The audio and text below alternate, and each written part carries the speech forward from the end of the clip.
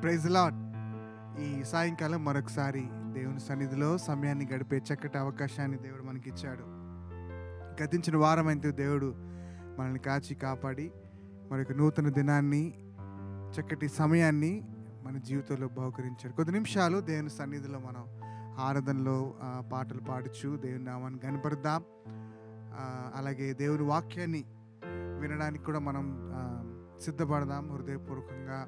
ఆత్మీయంగా మనం మన ఆత్మీయ జీవితాన్ని బలపరచడానికి దేవుని యొక్క సన్నిధి ఎంతో మనకి ఉపయోగపడుతుంది సహాయం చేస్తుంది కదండి. అందుని బట్టి మనం దేవాతి దేవునికి స్థుతులు స్తోత్రాలు చెల్లించవలసిన వారమే ఉన్నాం మాతో పాటు కలిసి కొద్ది నిమిషాలు మీరు కూడా సమయాన్ని గడిపి దేవుని సన్నిధిలో పాటలు పాడుచు ఆయన ఆరాధిస్తూ అలాగే ఆయన యొక్క అమూల్యమైన మాటల్ని వినే చక్కటి అవకాశాన్ని కూడా మీరు పొంది ఉన్నారని మా యొక్క నమ్మిక.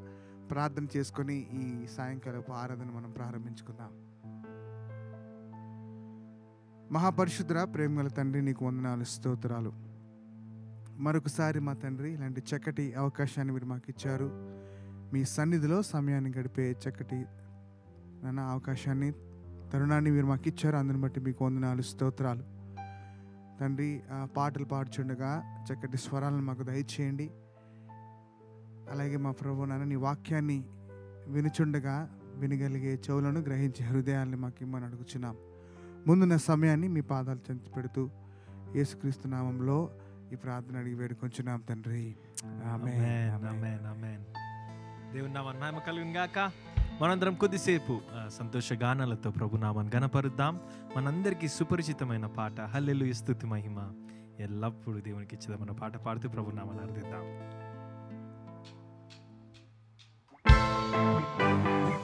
చప్పట్లు కొడదామండి.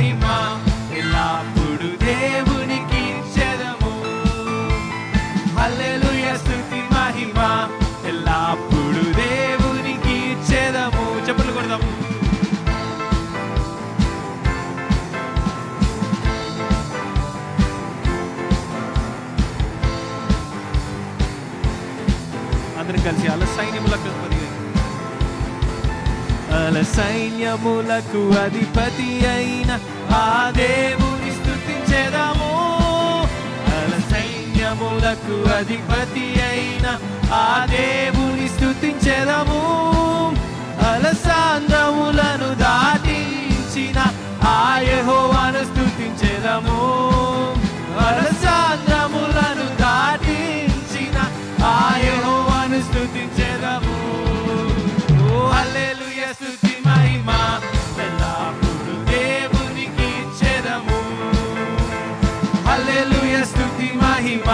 ఎల్లప్పుడూ దేవునికి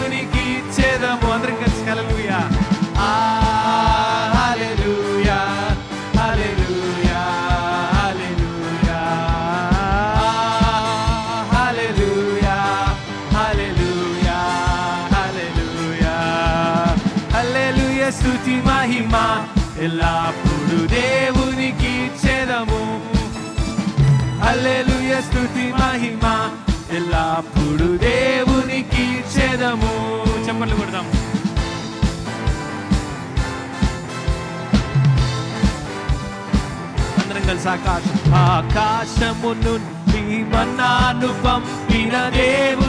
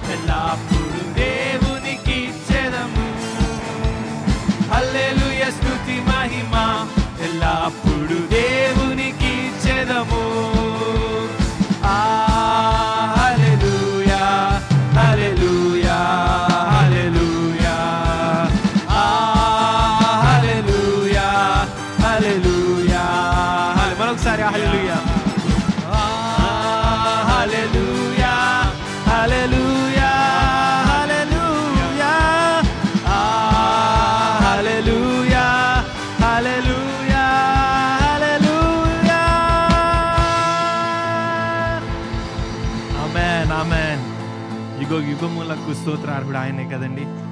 తరతరాలకు నిత్యము స్తు స్థుతింపదగిన దేవుడు. మనం ఇంకో పాట పాడుతూ ప్రభు నామాన్ని ఆరాధిద్దాం. తరతరాలలో యుగ యుగాలలో. దేవుడు దేవుడు అన్న పాట పాడుతూ ప్రభు నామాన్ని ఆరాధిద్దాం.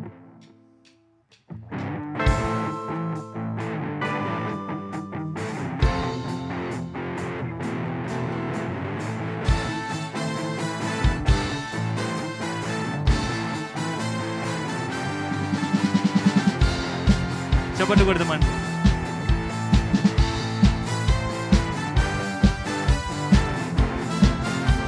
అందరం కలిసి తరతరా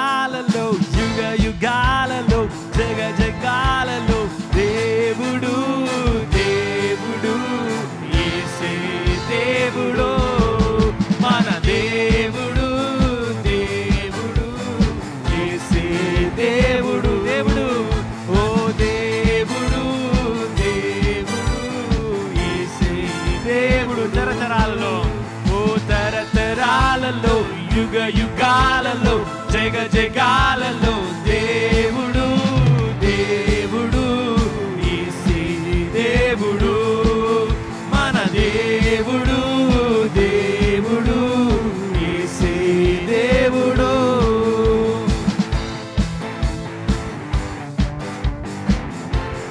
భూమి పుట్టించక మనకు జగతి పునాది వివేకం అందరం కలిసి పాడదాం. భూమిని పుట్టించక మునుపు లోకపు పునాది లేనప్పుడు భూమిని పుట్టించక మునపు లోకపు పునాది లేనప్పుడు.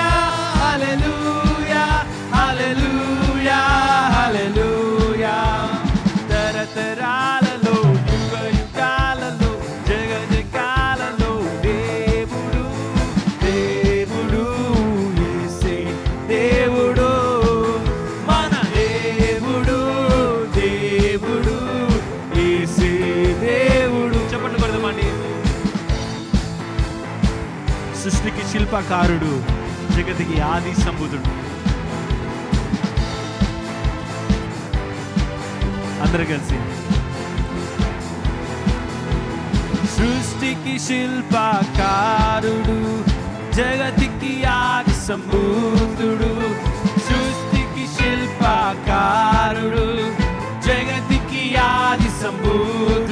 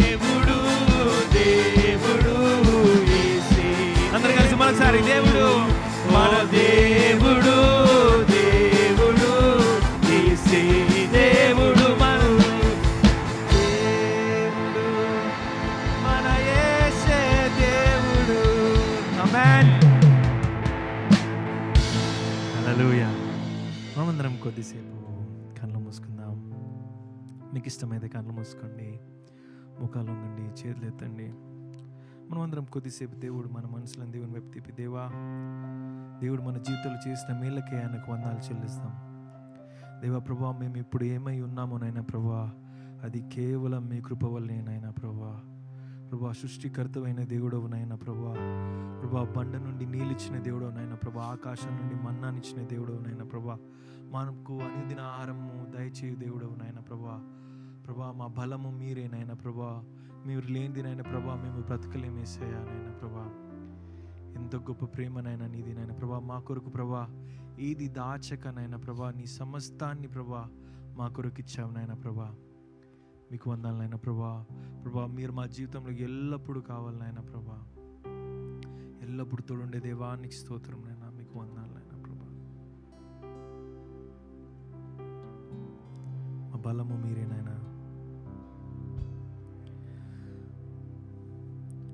నా బలమంతా నీవేనయా మా బలమంతా నీవేనయా మా బలమంతా నీవేనయా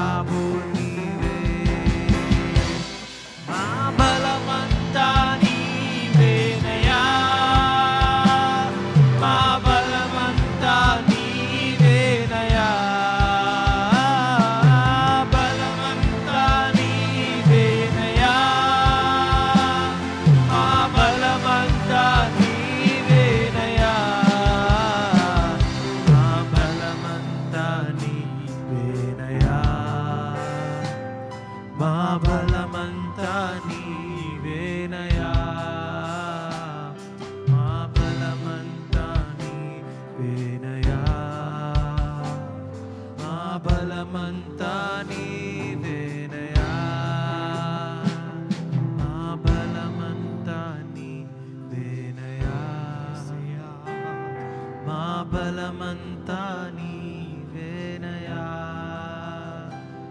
మా బలమంతా నీవేనయా మా బలమంతా నీవేనయా అలలు లేచినను తుఫాను ఎగసినను. అలలు లేచినను తుఫాను ఎగసినను.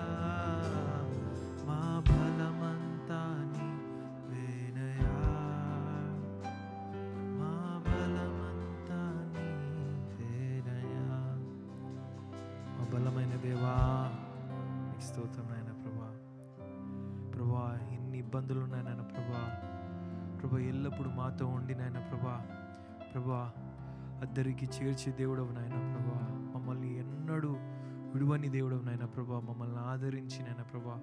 మమ్మల్ని కాపాడుతున్న దేవా మీకు స్తోత్రం నాయన ప్రభా. ఎంత గొప్ప భాగ్యం నాయన ప్రభా. మిమ్మల్ని కలిగి ఉండడం మా జీవితంలో నాయన ప్రభా. మమ్మల్ని ఎంచుకొని ప్రభా మమ్మల్ని మీ బిడ్డలుగా చేసుకున్నందుకు మీకు వందాలు నాయన ప్రభా. మమ్మల్ని కాపాడుతున్నాయన ప్రభా మమ్మల్ని ప్రేమిస్తున్నానైనా దేవా మీకు స్తోత్రం నాయన ప్రభా. విడువక ప్రేమించే దేవుడవు నాయన నీకు స్తోత్రం నాయన ప్రభా. ప్రభా ఈ స్థుతి ఆరాధన ప్రభా కేవలం మీకేనైనా ప్రభా కేవలం మీరే అర్హులనైనా నజరేడని యేసుక్రీస్తు నామంలో ఈ స్థుతి ఆధార ఆరాధన సమర్పిస్తున్నాం తండ్రి. అమెన్ అమెన్ దేవునామన్ మేమ కలుగుగాక మాతో కలిసి దేవుని ఆరాధిస్తున్నందుకు మీకు వందనాలు. ఇదే విధంగా మనము మన జీవితం అంతా దేవుని ఆరాధిస్తూనే ఉందాం. దేవుడు చేసిన మేలు ఒకటో రెండో కాదండి కదండి? మనం ఊహించలేని మేలు చేసే దేవుడు. మనల్ని ఎప్పుడు కాపాడే దేవుడు మన బలం ఆయన. ఆయన లేకుంటే మనం ఏం చేయలేం కదండి? దేవునికి స్తోత్రం. మనం ఇప్పుడు ప్రాముఖ్యమైన సమయంలోకి వెళ్దాం. మన పనులన్నీ పక్కన పెట్టి శ్రద్ధతో దేవుని వాక్యాన్ని విందాం. వాక్య సమయం.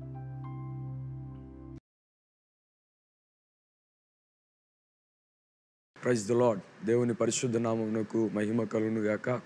క్యాప్స్టోన్ తెలుగు ఆరాధనకు మిమ్మల్ని అందరినీ ప్రేమతో ఆహ్వానిస్తున్నాం. ఈ అవకాశం ఇచ్చిన క్యాప్స్టోన్ ఏజిచెస్ సీనియర్ పాస్టర్ రెవరెంట్ చైతన్య అన్నకి నా ప్రత్యేకమైన వందనాలు తెలియజేస్తున్నాను. నా పేరు జాన్ నాక్స్ నేను ఎస్కోల్ అసెంబ్లీస్ ఆఫ్ గాడ్ సంఘం తరపున దావరపల్లిలో అసోసియేట్ పాస్టర్గా పనిచేస్తున్నాను. ఈ తెలుగు ఆరాధనలో దేవుని వాక్యాన్ని మనం చూడడానికి ప్రయత్నం చేద్దాం. మన పరిశుద్ధ గ్రంథంలో నుంచి సంఖ్యాకాండము పదవ అధ్యాయము ముప్పై ఒకటవ వచనాన్ని మనం ఈ దినము ధ్యానించడానికి ప్రయత్నం చేద్దాం. నేను చదువుతున్నాను. అందుకు మోషే నువ్వు దయచేసి మమ్మను విడువకుము. ఎట్లనగా ఈ అరణ్యమందు మేము దిగవలసిన స్థలములు నీకు తెలిసి ఉన్నవి. నీవు మాకు కన్నుల వలె ఉందువు. చిన్న ప్రార్థన చేద్దాం. ఈ ఆన్లైన్ తెలుగు ఆరాధనలో దేవుడు తన పరిశుద్ధాత్మ శక్తి చేత మనందరి హృదయాలతో మాట్లాడినట్లు మనమందరము దేవుని వైపు చూస్తూ తండ్రి ఈ సమయంలో మీరే మాతో మాట్లాడండి ప్రవ్వా అని దేవుని వైపు చూద్దాం. పరిశుద్ధుడానికి వందనాలు చెల్లిస్తున్నాను దేవా ఈ తెలుగు ఆరాధనలో ప్రవ్వా మీరే మాతో మాట్లాడండి. నిలబడినది నేను కానీ మాట్లాడేది నీవే గనుక ప్రవ్వా నీ పరిశుద్ధాత్మ సహాయమును కోరుతుంటుండగా ప్రవ్వా నీ స్వరమును తండ్రి మీరే వినిపింపచేయండి. వింటున్న మాకందరికీ ప్రభా ధ్యానిస్తున్న మాకందరికీ దీవెనకరముగా ఆశీర్వాదకరముగా తండ్రి ఫలవంతమైన వాక్యమును ప్రభా మీరు మాకు అనుగ్రహించమని ఏసయ్య పరిశుద్ధమైన నామములో మిక్కిలి వెనుము తడిగి వేడుకొని ప్రార్థిస్తున్నాము తండ్రి. ఆమెన్. మన శరీర అవయవాలలో అన్ని అవయవాల కంటే ప్రాముఖ్యమైన అవయవము కన్ను. కన్ను అని ఎందుకు చెప్తున్నాము అని అంటే కళ్ళు లేకపోతే మనము ఏ పని చేయడానికి కానీ కళ్ళు లేకపోతే మనం ఏ ప్రదేశానికైనా వెళ్ళడానికి కానీ కళ్ళు లేకపోతే మనము ఏలాగైనా సరే కదలడానికి కానీ అవకాశం లేని పరిస్థితులను మనం చూస్తూ ఉంటాం. కన్ను మూసుకొని మనం ఏ పని చేయలేం. కన్ను తెరిస్తే కనుక ఏ పనైనా మనం చేయగలుగుతూ ఉంటాం. అయితే మనం చదవబడిన లేఖన భాగంలో అపోస్తులైన పౌలు గారు మాట్లాడుతూ కొరింది పత్రికలో శరీరంలో ఉన్న ఆత్మీయమైన అవయవాలను గురించి మాట్లాడుతూ ఉంటాడు. మనం అందరము శరీరమై ఉన్నాము. అదే రీతిగా యేసుక్రీస్తు అనబడిన శరీరంలో మనమందరము అవయవములమై ఉన్నాము అని మాట్లాడుతూ ఉంటాడు. అయితే ఆ శరీరములో యేసుక్రీస్తు యొక్క శరీరంలో ఒకే శరీరముగా వివిధ రకాలైన అవయవాలుగా ఉన్న మనందరము క్రిస్తేసుని సంఘంలో వివిధ రకాల అవయవాలమైనా సరే ఏసై శరీరంలో ఒక భాగముగా మనం ఉన్నాం అయితే ఆ భాగముగా ఉన్న మనము కొన్ని చోట్ల మాట్లాడుతాడు అపోస్తుడైన పౌలు సంఘమునకు శిరస్సు క్రీస్తే అని చెప్పి. అయితే ఈ శిరస్సులో ఉన్న కండ్లు ఏ విధంగా అయితే శరీర భాగాలన్నిటికీ పనిచేస్తాయో యేసుక్రీస్తు శిరస్సు అయి ఉన్నప్పుడు సంఘముగా ఉన్న అవయవాలుగా ఆయా రీతులుగా పనిచేస్తున్న మనము కూడా సంఘములో ఆయా అవయవాలుగా విశ్వాసులముగా ఒక భాగస్థులముగా ఉన్న మనము కూడా ఆయా అవయవాలుగా పనిచేస్తూ ఉంటాం. అయితే ఇక్కడ దైవజనుడైన నాయకుడైన ఇస్రాయేల్ నడిపించే నాయకుడైన మోషే మాట్లాడుతాడు ఏమనంటే తన భావమరిది భావమరిది అని మనం ఎలా ఆలోచించాలి అంటే అదే సంయకాండము పదవ అధ్యాయము ఇరవై తొమ్మిదవ వచనంలో మోషే మామయ్యగు మిథ్యానీయుడైన రెవ్యూయలు కుమారుడగు హోబాబుతో మోషే యహోవా మాకిచ్చేదనని చెప్పిన స్థలమునకు మేము ప్రయాణమై పోవచ్చున్నాము. మాతో కూడా రమ్ము. మేము మీకు మేలు చేసేదము యహోవా ఇస్రాయేలులకు తాను చేయబో మేలును గూర్చి వాగ్దానము చేశాననగా. ఇక్కడ మనము జాగ్రత్తగా గమనించగలిగినట్లయితే ఇస్రాయేలీల ప్రజల మధ్యలో పుట్టి పెరిగిన ఈ యొక్క మోషే ఐగుప్తు యొక్క సామ్రాజ్యంలో ఎదిగిన మోషే ఐగుప్తు విద్యలన్నింటినీ అభ్యసించిన మోషే అనుకోని కారణాల చేత ఐగుప్తును విడిచి దూరదేశంలో ఉన్న మిద్యాను దేశానికి పారిపోవాల్సి వచ్చింది. పారిపోయినప్పుడు ఆ యొక్క మిద్యాను దేశంలో ఒక బావి దగ్గర కూర్చొని ఉన్నప్పుడు మోషే కొంతమంది సహోదరులు వచ్చి ఆ యొక్క బావిలో నీళ్ళు తోడుకోవడానికి చూసినప్పుడు ఆ బావి దగ్గర కొంతమంది గొర్రెల కాపరులు కూడా ఆ గొర్రెలకు నీళ్ళు పెట్టడానికి వాళ్ళు కూడా చూస్తున్నప్పుడు గొర్రెల కాపరులకు ఆ మిజ్జాను దేశంలో నుంచి వచ్చిన ఆ స్త్రీలకు కొంచెం వాగ్వాదం జరుగుతూ ఉంటుంది.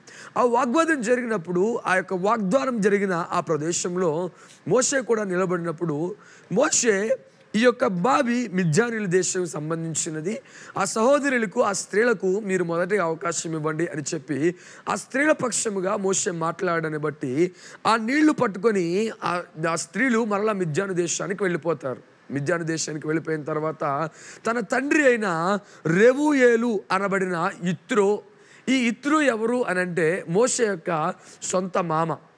అయితే ఇంటి దగ్గరికి వెళ్ళి తన తండ్రితో చెబుతారు నాన్న ఇలా జరిగింది. మేము బావి దగ్గరికి వెళ్ళాము. బావి దగ్గరికి వెళ్ళినప్పుడు అక్కడ ఉన్న సిచ్యువేషన్ ఏంటంటే మేము నీళ్ళు తోడుకోవడానికి వెళ్ళాము. అయితే అక్కడ కొందరు గొర్రెల కాపరులు మమ్మల్ని నీళ్ళు తోడుకొని వెళ్ళలేదు. అయితే అక్కడ ఒక వ్యక్తి ఉన్నాడు. ఆ వ్యక్తి మా పక్షముగా మాట్లాడి మాకు సహాయం చేశాడు అని చెప్పగానే మోసే వెంటనే వారితోటి అయ్యో వేరే వ్యక్తి వేరే దూర ప్రాంతం నుంచి వచ్చిన వ్యక్తిని మీరు మన ఇంటికి ఎందుకు ఆతిథ్యానికి పిలవలేదు? మనకు సహాయం చేసిన వ్యక్తిని ఎందుకు పిలవలేదు? అని చెప్పి మోసేని ఇత్రో పిలుచుకొని రమ్మన్నప్పుడు ఆ ఇద్దరు మోసేను పిలవమనగానే మోసేను ఈ స్త్రీలు ఇంటికి తీసుకుని వచ్చారు. ఎప్పుడైతే ఇంటికి తీసుకుని వచ్చారో తన యొక్క రిలేషన్షిప్ తన యొక్క సంబంధాన్ని బట్టి మోషే తన మేనల్లుడుగాను ఇత్రో మోషే యొక్క మామగాను గ్రహించిన తర్వాత ఆ ఇత్రో జరిగిన ఆ సన్నివేశం అంతటిని మోషే ఇత్రోకి వివరించిన తర్వాత ఇత్రో ఏం చేశాడంటే మోషేను తన ఇంట్లోనే పెట్టుకొని తన కుమార్తెనిచ్చి పెళ్ళి చేశాడు.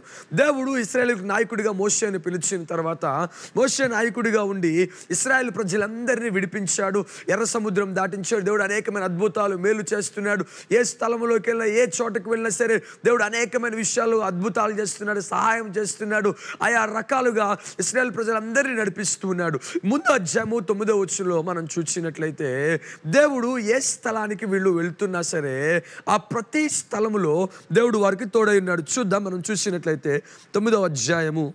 తొమ్మిదో అధ్యాయము సంఖ్యాకాండము. తొమ్మిదో అధ్యాయము ఇరవై ఇరవై ఒకటి వచ్చిన నేను చదువుతున్నాను. మేఘము కొన్ని దినములు మందిరము మీద నిలిచినలా వారును నిలిచిరి. యహోవా నోటి మాట చొప్పుననే నిలిచిరి. యహోవా నోటి మాట చొప్పుననే ప్రయాణం చేసిరి. అలాగే మేఘము సాయంకాలం మొదలుకొని ఉదయం వరకు నిలిచినడల ఉదయమందు ఆ మేఘం పైకెత్తబడగానే వారు ప్రయాణం చేసిరి. పగలేమి రాత్రి ఏమి ఆ మేఘము పైకెత్తబడినప్పుడే వారు ప్రయాణం చేసిరి. ఇక్కడ ఒక అద్భుతమైన విషయాన్ని మనం చూస్తూ ఉన్నాం. ఇస్రాయేల్ ప్రజలు ప్రారంభమైన దినము మొదలుకొని పగలు మేఘస్తంభముగాను రాత్రి అగ్నిస్తంభముగాను దేవుడు వారిని నడిపించాడు అని మనం చూస్తున్నాం తొమ్మిదో అధ్యాయంలో స్పష్టంగా కనపడుతున్న విషయం ఏంటంటే మేఘస్తంభము కదిలినప్పుడు ఇస్రాయేల్ ప్రజలు కూడా కదలాలి. మేఘస్తంభము ఎప్పుడైతే ప్రత్యక్ష గుడారం మీద దేవుని మందిరం మీద నిలిచి ఉంటుందో ఈ స్థలంలో దేవుడు మనల్ని నివాసం ఉండమంటున్నాడు. ఈ ఈ స్థలంలో కొంతకాలం ఆగమంటున్నాడు అని చెప్పి మేఘము ఆగిన ప్రదేశంలోనే ఈ యొక్క మందిరము చుట్టూ వారి యొక్క డేరాలను నిర్మించుకొని వీళ్ళు జీవిస్తూ ఉండేవారు.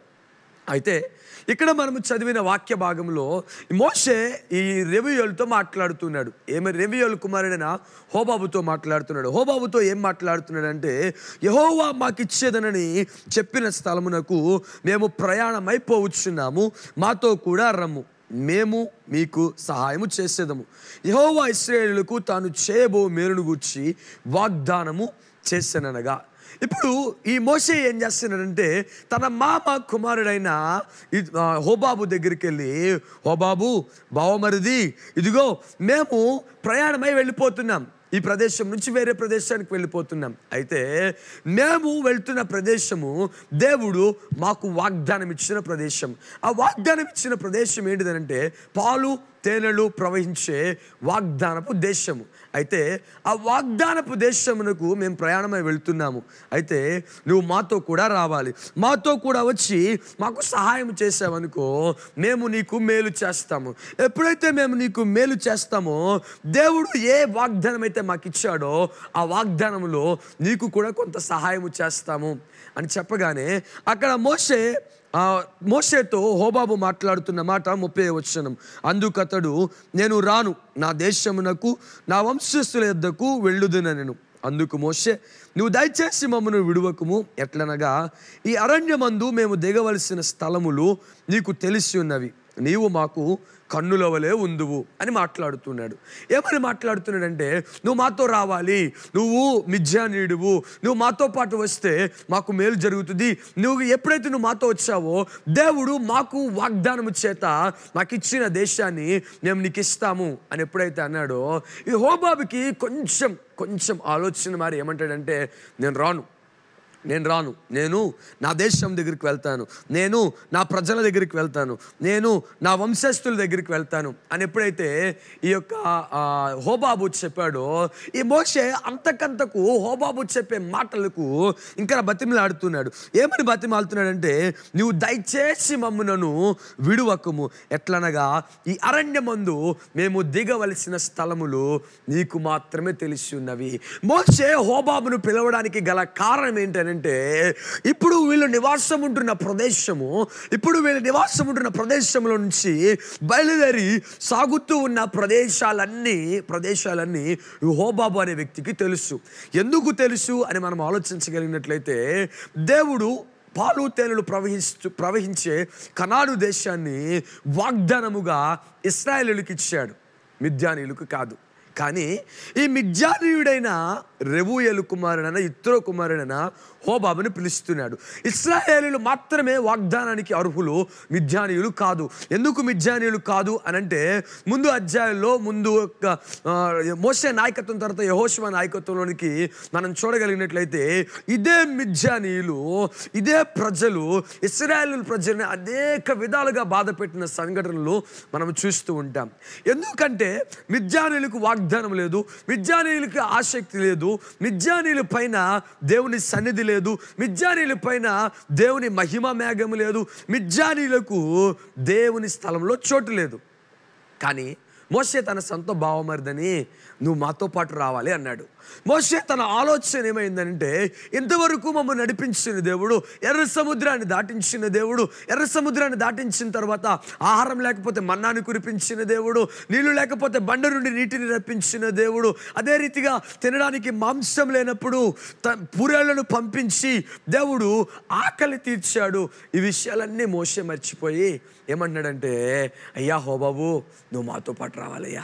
దయచేసి మమ్మలను విడువకు. ఎందుకు చెప్తానంటే నీకు మేము వెళ్ళవలసిన స్థలాలు నీకు మాత్రమే తెలుసు. అంటే దేవునికి తెలియదా దేవుని మేఘము ఎట్లా నడిపించబడితే ఇప్పుడు దాకా నడిచాడు కదా? ఎప్పుడు ఎలా నడిపిస్తే ఆ ప్రాంతాలన్నీ నడుచుకుంటూ వచ్చాడు కదా? మేఘము ఎక్కడ కదిలితే అక్కడ కదులుకుంటూ వచ్చాడు కదా? ఇప్పుడు ఈ సమయంలో కదల్చలేడా? ఈ సమయంలో నడిపించలేడా? ఈ సమయంలో ఆలోచన ఇవ్వలేడా? ఈ స్థలం ఈ సమయంలో వాగ్దాన దేశంలోనికి ఈ మేఘము తీసుకుని వెళ్ళలేదా? ఈ విషయాలు ఏమీ మోస ఆలోచించకుండా నా సొంత భావమరిది కదా నా కుటుంబంలోని వ్యక్తి కదా నేను ఈ హోబాబుని గనక అడిగితే ఈ హోబాబు నేను వెళ్ళాల్సిన మార్గానికి నన్ను తీసుకొని వెళ్ళిపోతాడు అని చెప్పి నువ్వు దయచేసి మమ్మల్ని విడవద్దు నేను వెళ్ళవలసిన స్థలాలన్నీ నీకు మాత్రమే తెలుసు. అంటే దేవునికి తెలియదు అనే ఆలోచన కాదు కానీ ఓ బాబు అయితే ఆలోచన లేకుండానే అన్ని మార్గాల్లో నుంచి తీసుకెళ్ళిపోతాడు అనే ఉద్దేశంతో అడుగుతూ ఉన్నాడు. హోబాబుని మోస అడిగే కొలది ఈ యొక్క హోబాబు ఏమంటున్నాడంటే ముప్పై రెండో వచ్చినంలో మోస ఏమంటున్నాడంటే మరియు నీవు మాతో కూడా వచ్చిన ఎడల యహోవా మాకు ఏ మేలు చేయనో ఆ మేలును బట్టి మేము నీకు మేలు చేయుదుమనను. దేవుడు మాకిచ్చిన వాగ్దానాన్ని బట్టి దేవుడు మాకేదైతే మేలు చేస్తాడో అదే మేలును నీకు కూడా చేస్తాము. దేవుడు ఏ మేలైతే మాకు చేయను ఉద్దేశించాడో అదే ఉద్దేశించిన మేలు నీకు చేస్తాము. దేవుడు ఏదైతే మా పట్ల కలిగి ఉన్నాడో అది నీ పట్ల మేము నీకు చేస్తాం. దేవుడు ఏ స్థలాన్ని అయితే మాకు ఇస్తానంటున్నాడో అదే స్థలాన్ని నీకు మేము ఇస్తాము. అని చెప్పి మాట్లాడుతూ ఉన్నాడు. మాట్లాడుతూ ఉన్న ఆ సమయంలో ఈ హోబాబు ఈ ముందుకు రాకపోవడం చూసి ఈ హోబాబు ముందు అడుగు వేయడం వేయకపోవడం చూసి మోసే ముందుకు సాగడం ప్రారంభించాడు. ముప్పై మూడు వచ్చంలో మనం చూడగలిగినట్లయితే వారు యహోవ కొండ నుండి మూడు దినములు ప్రయాణం చేసిరి. వారికి విశ్రాంతి స్థలము చూచుటకు మూడు దినముల ప్రయాణములో యహోవా నిబంధన మందస్సము వారికి ముందుగా సాగాను. వారు తాము దిగిన స్థలము నుండి సాగినప్పుడు యహోవా మేఘము పగటి వేళ వారి మీద ఉండెను. మనము చూచిన ఈ రెండు విషయాలలో మూడు సార్లు యహోవా యహోవా యహోవా అనగా దేవుని పేరు కనపడుతున్నది ఎందుకు దేవుని పేరు కనపడుతుంది అంటే మొదటిసారి ముప్పై మూడో వచనంలో యహోవా కొండ అని కనపడుతుంది. అదే రెండో అదే వచనంలో రెండోసారి యహోవా నిబంధన మందసం అని కనపడుతుంది. ముప్పై నాలుగో వచనంలో మూడోసారి యహోవా మేఘము అని కనపడుతుంది. ఇప్పుడు హోబాబు ఎప్పుడైతే రాను అని అన్నాడో హోబాబు ఎప్పుడైతే నేను ముందుకు సాగను అన్నాడో ఈ ప్రాంతాలు నీకు చూపించను ఈ ప్రాంతాలకి నీకు తీసుకెళ్ళను ఈ ప్రాంతాలకు నేను నిన్ను నడిపించను నేను మా దేశస్తుల దగ్గరకు నేను నా వంశస్థుల దగ్గరకు నేను నా బంధువుల దగ్గరకు ఎప్పుడైతే వెళ్ళిపోతాను అని అన్నాడో మోషే యహోవా కొండ నుండి బయలుదేరాడు. అల్లెలుయా యహోవా కొండ నుండి అంటే యహోవా కొండ అని దేనికి పేరు అని అంటే సినాయి పర్వతము సినాయి పర్వతము. సినాయి పర్వతము అనగా దేవుడు అభిషేకించి మోషేతో మాట్లాడిన స్థలము. అభిషేకించబడిన మాట్లాడిన స్థలంలో నుంచి దేవుని సన్నిధి ఉన్న స్థలంలో నుంచి దేవుని కృప ఉన్న స్థలంలో నుంచి దేవుని అభిషేకం ఉన్న స్థలంలో నుంచి వీళ్ళు బయలుదేరారు. ఎప్పుడైతే హోబాబును ఆదర్శంగా తీసుకోనకుండా దేవుని సన్నిధి నుండి బయలుదేరారో ఇప్పుడు వాళ్ళు వాగ్దాన దేశంలోనికి ప్రయాణం చేయడం ప్రారంభించారు. నా ప్రియమైన దేవుని బిడ్డలారా మనము కూడా కొన్ని కొన్ని విషయాలలో కొన్ని కొన్ని సమయాలలో కొన్ని కొన్ని ఆలోచనలో కొన్ని కొన్ని తలంపులలో దేవుడు అనేక రీతులుగా అనేక అవసరాల గుండా అనేక తలంపుల గుండా అనేక మేలుల గుండా మనల్ని నడిపిస్తూ ఉంటాడు. పగలు మేఘస్తంభంగా నడిపిస్తాడు రాత్రి అగ్నిస్తంభంగా నడిపిస్తాడు యహోవా ఈరేగా అన్నిట్లో తోడై ఉంటాడు యహోవా రాఫాగా అన్ని విషయాల్లో స్వస్థ స్వస్థపరుస్తూ ఉంటాడు. అయినా సరే కొన్ని కొన్ని సమయాల్లో మనం ఏం చేస్తూ ఉంటామంటే దేవుని వైపు చూడక మోసే హోబాబు వైపు చూసినట్లు మనము కూడా ప్రజల వైపు చూస్తూ ఉంటాం. ప్రజలు ఆలోచన ఇవ్వగలరు మాది ఆలోచన ఇవ్వగలరు మాత్రమే కానీ వాళ్ళు మనలను నడిపించలేరు. ఉదాహరణకు మనం ఒక ప్రదేశం నుంచి వేరే ప్రదేశానికి వెళ్ళాలి. ఆ వెళ్ళవలసిన ప్రదేశం మనకు తెలియదు తెలియనప్పుడు మనం ఏం చేస్తాము అని అంటే ఆ తెలిసిన వ్యక్తి దగ్గరికి వెళ్ళి అయ్యా నేను పలానా ప్రదేశానికి వెళ్ళాలనుకుంటున్నాను. ఎట్లా వెళ్ళాలి? అని అంటే ఆ వ్యక్తి మనను కేవలం గైడ్ మాత్రమే చేయగలడు. కానీ తీసుకుని వెళ్ళలేడు. ఇలా వెళ్ళు ఇలా రైట్ తీసుకో ఇలా లెఫ్ట్ తీసుకో ఇలా స్ట్రైట్గా వెళ్ళు. అక్కడ నుంచి నువ్వు రైట్ తిరగగానే నువ్వు వెళ్ళాలనుకున్న స్థలము నువ్వు వెళ్ళాలనుకున్న డెస్టినేషన్ నువ్వు చేరుకుంటావు. ఇలాగ రూట్ మ్యాప్ మాత్రమే చెప్ప చెప్పగలడు కానీ నిన్ను తోడు పట్టుకొని తీసుకొని వెళ్ళలేడు. తీసుకొని వెళ్ళడు కూడా. కానీ దేవుడు ఏం చేస్తున్నాడంటే ఇస్రాయేల్ ప్రజలు ఐగుప్తు దేశంలో నుంచి విడిపించబడినది మొదలుకొని ప్రతి సమయంలో ప్రతి క్షణము నడిపిస్తూ వెళ్తున్నాడు. నడిపిస్తూ తీసుకొని వెళ్తున్నాడు. నడిపిస్తూ ఆలోచనిస్తూ అన్ని విషయాలలో తోడుగా ఉండి నడిపించి తీసుకెళ్తున్నప్పుడు హోబాబు హోబాబును చూసి మోసే ఒక్కసారే దేవుని పైన ఆధారపడడం అనేసి హోబాబు వైపు చూచాడు. నా ప్రియమైన దేవుని బిడ్డలారా మనము కూడా అనేకమైన పరిస్థితులు గుండా వెళ్తున్న మనము దేవుడు నడిపిస్తున్నప్పుడు కొన్ని కొన్ని సమయాలలో దేవుణ్ణి మర్చిపోయి దేవుణ్ణి పక్కన పెట్టి ప్రజల వైపు చూస్తూ ఉంటాం. ప్రజల వైపు చూడ చూడడం కాదు కానీ మనము ఎవరి వైపు చూడాలంటే దేవుని సన్నిధి వైపు చూడగలగాలి. ఇప్పుడు వీళ్ళు దేవుని సన్నిధి దేవుని అభిషేకం దేవుని కృప దేవుని మహిమ ఉన్న సినాయి కొండ నుండి ప్రయాణం ప్రారంభించారు. మన ప్రయాణాలు కూడా మన యొక్క నడవడికలు కూడా మన ఆలోచనలు కూడా మన తలంపులు కూడా మన కుటుంబం పట్ల మన సంఘము పట్ల మన పరిస్థితుల పట్ల మన యొక్క ఏ, ఉద్యోగరీత్యా ఆయా పరిస్థితుల పట్ల మనము మొట్టమొదటిగా దేవుని సన్నిధి నుంచి దేవుని మహిమ నుంచి దేవుని యొద్ధ నుంచి ఆలోచన పొందుకొని ముందుకు సాగలిగినట్లయితే దేవుడే నడిపిస్తాడు.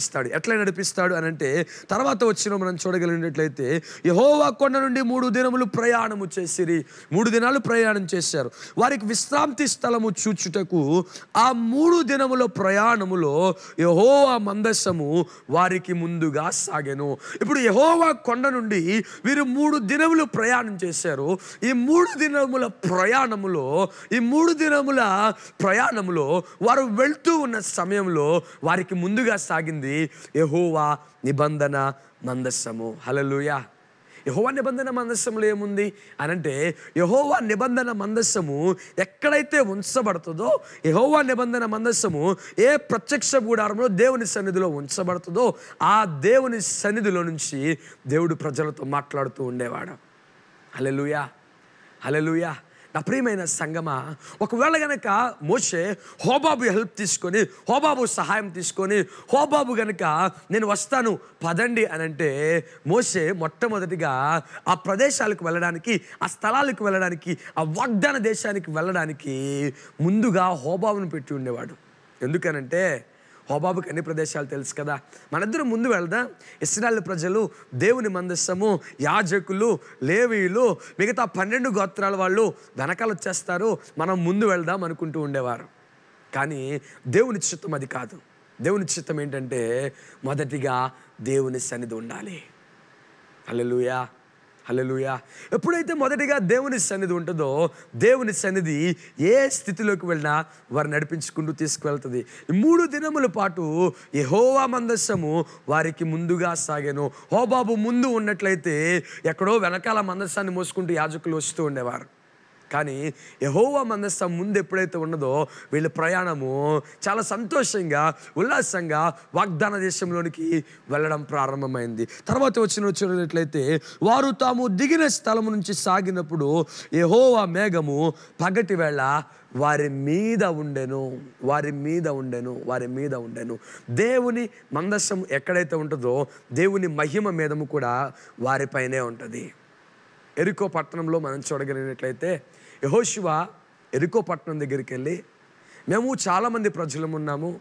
దయచేసి ఈ ఎరుకో మా ఈ మరి ఎరుకో పట్టణం మధ్యలో నుంచి మాకు కొంచెం స్థలం ఇస్తే మేము ఈ పట్టణం దాటి అవతలకు వెళ్ళిపోతాం అని ఎరుకో రాజుని అడిగితే ఎరుకో రాజు దానికి అంగీకరించలేదు. అంగీకరించినందుకు యహోశివ దేవుని దగ్గరికి వచ్చి అయ్యా ఎరుకో రాజు ముందుకు వెళ్ళనివని అంటున్నాడు.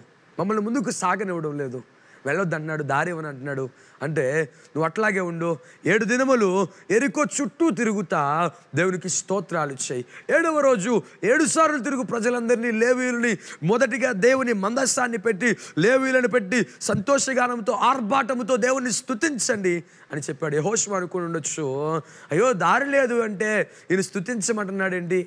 అనుకోవచ్చు. కానీ దేవుని మనల్ని ఏ విధంగా నడిపిస్తున్నాడో ఆ నడిపించే విధానం వెనకాల మనం వెళ్ళగలిగినట్లయితే గొప్ప మేలు మన కొరకు దాచించబడుతుంది ఎప్పుడైతే యహోష్వా దేవుడు చెప్పినట్లు చుట్టూ తిరగగలిగారో ఆ మందసం ఎప్పుడైతే ఎరుకో చుట్టూ తిరిగిందో దేవుని సన్నిధి ఎప్పుడైతే ఎరుకో చుట్టూ తిరిగిందో ఏడవ దినాన్న ఎరుకో కోట గోడలు కూలిపోవడం ప్రారంభమైనాయి. ఎక్కడైతే దేవుని సన్నిధి ఉంటుందో ఎక్కడైతే దేవుని మందస్సము దేవుని మహిమ మేఘం ఉంటుందో అప్పుడు దాకా ఎరుకో లోపల నుంచి వెళ్ళాలనుకున్న వాళ్ళు ఇప్పుడు ఎరుకో మీద నుంచి వెళ్ళడం ప్రయాణం మొదలు పెట్టారు హల్లెలూయా! మీద నుంచి ఎలా వెళ్ళారు తెలుసా? ఎరుకోలో ఉన్న అందరి ప్రజల దగ్గర నుంచి ఆస్తులు డబ్బులు బంగారం అన్నిటినీ పట్టుకొని వెళ్ళిపోయారు ముందుకి. ఒకవేళ నిజంగా కనుక ఆ ఎరుకో రాజు కొంచెం దారిచ్చి ఉంటే సమాధానంగా అందరూ వెళ్ళిపోతుండేవారు. కానీ దేవుని చిత్తము వారికి ఏదో విధంగా వారిని బయటకు నడిపించాలి. దేవుడు ఒక ప్రదేశంలో మనల్ని మూసాడనంటే ఒక ప్రదేశంలో కింద నుంచి వెళ్తున్నామనంటే మనము ఒకవేళ నేను కింద ఉన్నానేమో అని బాధపడుతుండొచ్చు కానీ దేవుని చిత్తము నిన్ను అంచెలంచెలుగా పైనుండి తీసుకొని వెళ్ళాలని. ఎప్పుడైతే మనము దేవుని సన్నిధిని ముందుగా పెడతామో దేవుని కృపను దేవుని మహిమను మనం ముందుగా పెడతామో దేవుడు మన పక్షా నుండి మన మీద ఉండి మనతో పాటు ఉండి మనల్ని నడిపిస్తూ ఉంటాడు. ఆఖరిగా ముప్పై ఐదో అధ్యాయంలో ముప్పై ఐదో వచ్చిన మనం చూడగలిగినట్లయితే ఆ మందస్సము సాగినప్పుడు మోషే యహోవా లెమ్ము. నీ శత్రువులు చెదిరిపోదురుగాక నిన్ను ద్వేషించు వారిని ఎదుట నుండి పారిపోదురుగాక ముప్పై ఆరో వచ్చినం అది నిలిచినప్పుడు అతడు యహోవా ఇస్రాయేలు వేవేల మధ్యకు మరలా రమ్మెనను. మోషే మందస్సము కదిలిన ప్రతిసారి మందస్సం ఆగిన ప్రతిసారి రెండు పనులు చేస్తూ ఉండేవాడు. ఏంటిదా రెండు పనులు అంటే మందస్సము సాగుతూ ఉన్నప్పుడు దేవా మేము ముందుకు సాగుతూ ఉన్నాము. మేము ముందుకు సాగుతున్నప్పుడు మాకేది అడ్డు రాకుండా నువ్వు శత్రువులందరిని ఏం చెయ్యి? చెదరగొట్టి మాకు దారి ఇచ్చేటట్టు చేయ నా ప్రియమైన దేవుని ప్రజలారా సంగమా ఈ సమయంలో మనం కూడా ఆలోచించాలి. ఎప్పుడైతే హోబాబు లాంటి వ్యక్తులను మన జీవితాల్లో నుంచి పక్కన పెట్టి హోబాబు లాంటి ఆలోచనలను మన జీవితాల్లో నుంచి పక్కన పెట్టి ఎప్పుడైతే దేవునికి మొదటి ప్రాముఖ్యత ఇవ్వగలుగుతామో ఎప్పుడైతే మనకు ముందుగా దేవుని సన్నిధిని పెట్టగలుగుతామో ఎప్పుడైతే మనకు ముందుగా మనకు తోడుగా దేవుని కృపను అడుగుతామో దేవుడు మనలను నడిపించడం మాత్రమే కాదు మన కొరకు మార్గాలన్నీ సరళం చేయడానికి ఇష్టపడుతున్నాడు. హలెలుయా హలెలుయా రెండవ తిమోతి పత్రికలో మనం చూడగలిగినట్లయితే రెండవ తిమోతి పత్రిక రెండో అధ్యాయము. రెండో తిమోతి పత్రిక రెండో అధ్యాయము. ఇరవై ఇరవై ఒకటి వచ్చినలో మనం చూడగలిగినట్లయితే గొప్ప ఇంటిలో వెండి పాత్రలను బంగారు పాత్రలను మాత్రమే గాక కర్రవియు మంటివియు కూడా ఉండును. వాటిలో కొన్ని ఘనతకు కొన్ని ఘనహీనతకు వినియోగించబడును. ఎవడైనను వీటిలో చేరక తన్ను తాను పవిత్రపరుచుకుని నెడల వాడు పరిశుద్ధపరచబడి యజమానుడు వాడుకొనుటకు అర్హమై ప్రతి సత్కార్యమునకు సిద్ధపరచబడి ఘనత నిమిత్తమైన పాత్రయై ఉండును. ఈ వచనాల్లో మనము జాగ్రత్తగా గమనించగలిగినట్లయితే యజమానుడు వాడుకొనుటకు అర్హమైన పాత్రగా పనిచేయాలి అని చెప్తున్నాడు. ఇప్పుడు దేవునికి అర్హమైన పాత్రలుగా మనం ఉండగలగాలనంటే ఇక్కడ నాలుగు విషయాలు పౌలు గారు చెబుతున్నాడు. ఏంటిదనంటే ఒక గొప్ప ఇంటిలో పెద్ద ఇంటిలో నాలుగు రకాలైన పాత్రలు ఉంటాయి. ఒకటి వెండి పాత్రలు బంగారు పాత్రలు కర్ర పాత్రలు మంటి పాత్రలు. బంగారుపు పాత్ర మనకు చాలా విలువైనది బంగారం చాలా విలువైనది. కాబట్టి మనం ఏం చేస్తామంటే బంగారము ప్రతిరోజు వినియోగించాం. కేవలం అప్పుడప్పుడు మాత్రమే ఏదైనా అత్యవసరమైన సందర్భాలు వచ్చినప్పుడు ఏదైనా పెద్ద పెద్ద మంచి అకేషన్స్ జరిగినప్పుడు ఆ బంగారపు పాత్రను వాడతాం. అన్ని సమయాలలో వెండి పాత్రను వినియోగించాం. వెండి పాత్ర కూడా విలువైనదే. అన్ని సమయాల్లోనూ వినియోగించడం అది కూడా కొంత కాలానికి మాత్రమే పరిమితం. తర్వాత చూసినట్లయితే కర్రవి. కర్రవి అన్నిటికీ వినియోగించుకోవడానికి పని చేయవు. ఒకవేళ కర్రవ తీసుకుని వెళ్ళి పొయ్యి మీద కానీ పెట్టగలి మంట మీద కానీ పెట్టగలిగితే అవి పని చేయకుండా పాడైపోతాయి. మంటి పాత్రలు. మంటి పాత్రలు కూడా అన్ని విషయాల్లో వాడుకోవడానికి పని చేయవు. అవి కూడా కొన్ని సందర్భాలకు మాత్రమే. ఈ నాలుగు పాత్రలలో ఏవి సరి అయిన సమయానికి ప్రతిసారి ఉపయోగించుకోవడానికి పని చేయవు. కొన్ని కొన్ని సందర్భాల్లోనే కొన్ని కొన్ని సమయాలలోనే పని చేసుకోవడానికి ఉపయోగపడతాయి. కానీ పౌలు గారు చెప్తున్నాడు కింద మాటలలో ఎవడైనను వీటిలో చేరక ఎవడైనను వీటిలో చేరక మనము కూడా మన ఆలోచనలో మన తలంపులలో కొన్ని కొన్ని విషయాల్లోనే దేవునికి ముందు స్థానం ఇస్తూ కొన్ని కొన్ని విషయాల్లోనే దేవా నువ్వు కన్నుల వలె మమ్మల్ని నడిపించు అని అంటూ ఉంటామేమో. కానీ దేవుడు చెప్తున్నాడు దేవుని వాక్యం చెబుతుంది అప్పుడప్పుడు భక్తిలో కాదు అప్పుడప్పుడు విశ్వాసంలో కాదు అప్పుడప్పుడు వినియోగించబడే పాత్రల వలె కాదు. ఎలా ఉండాలంటే వీటిలో చేరక పవిత్రపరచుకొని ఎడల వాడు పరిశుద్ధపరచబడి మోషే హోబాబు రాను అన్నాడని చెప్పి తనకు తాను రిపెంట్ అయి తనకు తాను ఏం చేశాడంటే నేను దేవుని సన్నిధిలోని బయలుదేరుతున్నాను. దేవుడే చూసుకుంటాడు. హల్లెలూయా.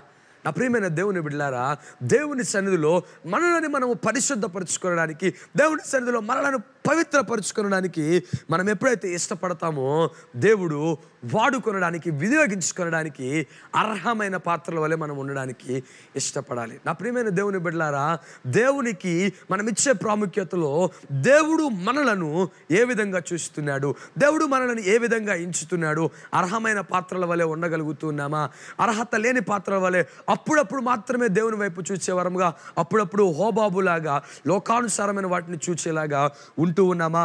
అనేది మనం ఆలోచించుకొనగలగాలి. అర్హమై ప్రతి సత్కార్యమునకు సత్కార్యము అనగా మంచి పని. నా ప్రియమైన దేవుని బిడ్డలారా మంచి పనులు చెడ్డ పనులు ఇవి మనం చూస్తూ ఉంటాం. అయితే దేవుని నమ్మిన వారముగా దేవుని కలిగి ఉన్న వారముగా ఇస్రాయేల్ ప్రజలకు నాయకుడైన మోసే ఈ హోబాబు విషయంలో దేవుని వైపు చూడక హోబాబు వైపు చూసినప్పుడు మరలా దేవుని వైపు చూడడానికి అర్హమైన పాత్రగా మంచి పనికి ముందు అడుగు వేయగలిగాడు.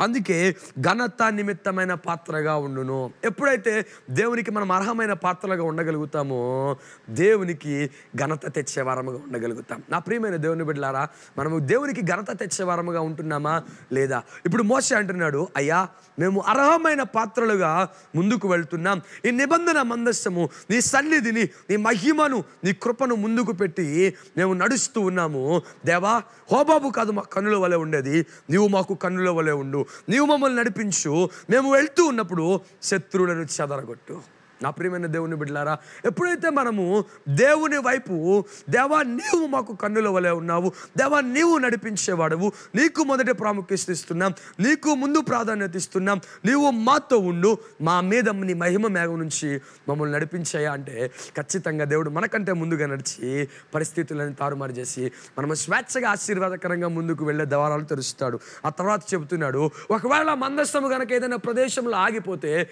మేము ఇక్కడ ఆగుతున్నాం ప్రభా. ఈ వేవల మధ్యలోనికి నీవు రావాలి. మేము ఇక్కడ ఆగుతూ ఉన్నప్పుడు నీవు మాతో పాటు ఉండాలి. నా ప్రేమైన దేవుని బిడ్డలారా మనము వెళ్తూ ఉన్న మార్గాలు కాదు మనం చేస్తున్న పనులు కాదు కానీ మనం ఏ స్థలాలలో అయితే ఉంటున్నామో అక్కడ కూడా దేవుని నామానికి మహిమ తెచ్చే వారంగా ఉండాలి. నువ్వు జాబ్ చేస్తున్నావా? నువ్వు డ్యూటీ చేస్తున్నావా? నువ్వు ఏదైనా పని చేస్తున్నావా? నీ చర్చిలోనా? నీ సంఘంలోనా? దైవ సేవకుని దగ్గర దైవ సేవకుని టీంలోనా? లేకపోతే ఏ పరిస్థితుల్లో ఉన్నా సరే దేవా నువ్వు మాతో పాటు ఉండాలి మమ్మల్ని నడిపించాలి. నీవు మాకు కన్నులు నీవు మాకు నేత్రాలు నీవు మమ్మల్ని నడిపించేవాడు అని ఎప్పుడైతే మనం అడగగలుగుతామో దేవుడు మన పక్షంగా ఉండి గొప్ప కార్యాలు మన పక్షంగా చేసి మనందరి ఘనత నిమిత్తమైన పాత్రలుగా మన ఏసయ్య మనల్ని ఎంచడానికి ఇష్టపడుతున్నాడు. నా ప్రియమైన దేవుని బిడ్డలారా ఏసయ్య కొరకు దేవుని రెండవ రాకడ కొరకు పరుగులెడుతున్న మనము ఎప్పుడైతే దేవునికి అర్హమైన పాత్రలుగా ఉంటామో వారు మాత్రమే దేవుని దృష్టికి యోగ్యమైన వారుగా ఉండగలుగుతున్నారు. సంగమా ఇదేనా నీవు యోగ్యమైన వానివిగా ఉన్నావా? లేదా ఒకసారి పరీక్షించుకుందాం. ఒకసారి దేవుడు మరొక అవకాశం ఇస్తున్నాడు. ఏసైకు మొదటి అవకాశం ఇద్దాం. దేవునికి ముందు స్థానం ఇద్దాం. దేవుని మహిమ మనల్ని ముందు ఉంచి నడిపించేదిగా ఉంచుదాం. దేవుని సన్నిధిలో నుంచి దేవుని మందిరములో నుంచి దేవుని ఆలోచన పట్టుకొని దేవుని వాక్యాన్ని పట్టుకొని మనం ఈ స్థలం నుంచి వెళ్ళడానికి మనము ప్రయత్నం చేద్దాం. దేవుడు మనతో ఉండి మన మాటలను ఆశీర్వదించి మనందరి హృదయాలు ఈ మాటలు ఫలింపచేయునుగాక. ఆమెన్. అందరం తలలో ఉంచుదాం. ప్రార్థన చేద్దాం. అందరూ ప్రార్థనలోకి పోయిద్దాం ఎవరు ఏ స్థలాల్లో ఈ ఆన్లైన్లో వీక్షిస్తున్నప్పటికీ నాతో కలిసి చిన్న ప్రార్థనలో ఏకీభవిద్దాం. తండ్రి నీకు స్తోత్రాలు చెల్లిస్తున్నాను. ఈ సమయంలో ప్రభా దేవా నీవు మాకు కన్నుల వలె ఉన్నావు అని మేము ధ్యానిస్తూ నీ మాటలను ధ్యానించాం. తండ్రి మోషే లోకాన్ని చూచాడు ప్రజలను చూచాడు బంధువులను చూచాడు కుటుంబ వారిని చూచాడు వాగ్దానము లేని వ్యక్తులను చూచాడు. నా ప్రియమైన దేవుని సంగమా మనము కూడా ఆయా పరిస్థితుల్లో లోకాన్ని బంధువులను కుటుంబాన్ని దేవుని వాగ్దానంలోను దేవుని చిత్తంలో లేని ప్రజల వైపు చూస్తున్నామేమో ఇది దేవుని వాక్యం మాట్లాడుతుంది. ఒకసారి సరి చేసుకోవడానికి ఇష్టపడదాం.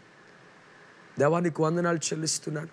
మాతో మాట్లాడావు మమ్మల్ని నడిపించావు మమ్మల్ని బలపరిచినందుకు నీకు వందనాలు చెల్లిస్తున్నాను. మేము తండ్రి నీవు వాడుకొనడానికి అర్హమైన పాత్రల వలె ఉంటూ ప్రభా యహోవా కొండ అనబడే నీ సంఘం నుంచి ప్రభా నీ సన్నిధిని నీ కృపను ప్రభా మాకు ముందుగా పెట్టి ప్రభా నీ మహిమ మేఘం వలె మాతో ఉండి ప్రభా మీరే మమ్మల్ని నడిపించమని అడుగుచున్నాం తండ్రి మీరే మమ్మల్ని బలపరిచి ఉన్నతముగా ప్రభా నీ కొరకు వినియోగించబడే పాత్రల వల్ల మీరు మమ్మల్ని ఉంచి నడిపించమని పరిశుద్ధమైన ఉన్నతమైన అతి శ్రేష్టమైన నీ నామంలో ప్రార్థిస్తూ అడిగి వేడుకుంటున్నాము తండ్రి. ఆమెన్. మన తండ్రి అయిన దేవుని ప్రేమ కుమారుడైన యేసుక్రీస్తు వారి యొక్క కృప పరిశుద్ధాత్మని యొక్క అన్యోన్య సహవాసము ఇప్పుడు ఎల్లప్పుడూ ఈ క్యాప్స్టోన్ సంఘానికి ఈ ఆన్లైన్ ఆరాధనలో వీక్షిస్తున్న మనందరికీ తన యొక్క కృప తోడేండు నడిపించును గాక ఆమెన్. ఆమెన్. ఆమెన్ ప్రజలు లాడ్ అందరికీ.